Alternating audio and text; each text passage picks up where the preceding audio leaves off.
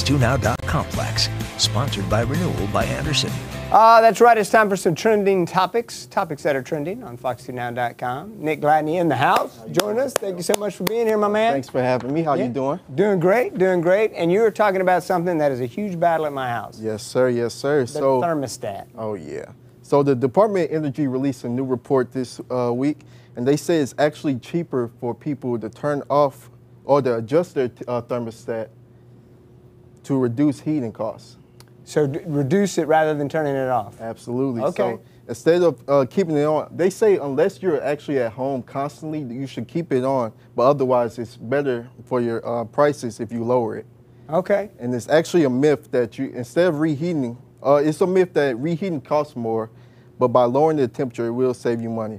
And they even actually advise that if you uh, decrease the temperature by 7 to 10 degrees while you're typically at work for eight hours, you can save 10% on your bill. Wow, that's a pretty good. That's a pretty good savings. Mm-hmm. I wonder if they teach a class on thermostat because in my house there are some who believe that if you crank it up all the way, that it's going to get hot faster, or if you crank it down, it's going to cool fast. Not the case. No, I, I hate waking up and it's too cold. You have to grab like three blankets to keep warm.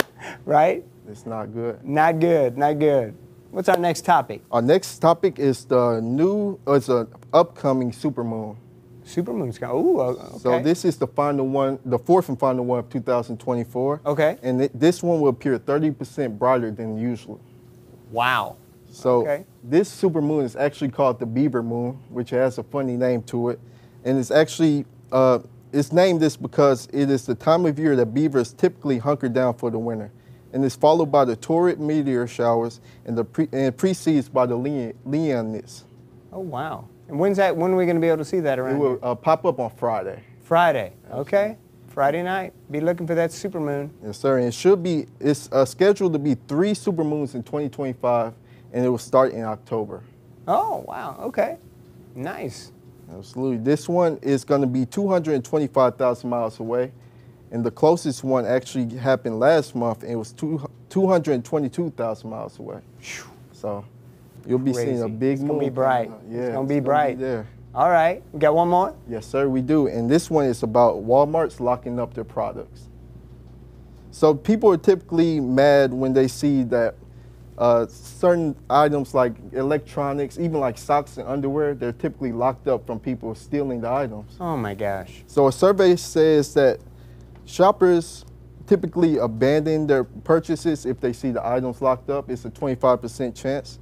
And then they Yeah. do it typically because there's been a 24% rise in shoplifting in 2024. Well, that's because they tell a lot of stores tell employees don't. If you see someone stealing, just don't even confront. Let it let it go. So they will, will be having a new uh, technology that will allow people to kind of unlock their uh, unlock the items with their cell phones. Oh really? Yeah, so So what's the point of locking them? that's I'm why, are we. Yeah. why are we locking them up if I can unlock them with my cell phone? So- can I say that back in the day when I was a employee, an associate, I caught somebody shoplifting. Man. Yeah, they were sticking some extra fish filters into their aquarium. Made the phone call, got them at the checkout. You'll be surprised how uh, strategic people are doing it. I too. know, It's right? crazy. They are crazy. So they said they were. Uh, it's already been. Uh, it's already been active to a hundred, uh, several hundred stores, and it may expand to Walmart Plus members, so they can just do it themselves. There you go. Hey, we got more coming your way. It's Fox 2 News 9 a.m. Stay with us. Thanks, Nick. Thank you for watching from the fox2now.complex. Sponsored by Renewal by Andersen.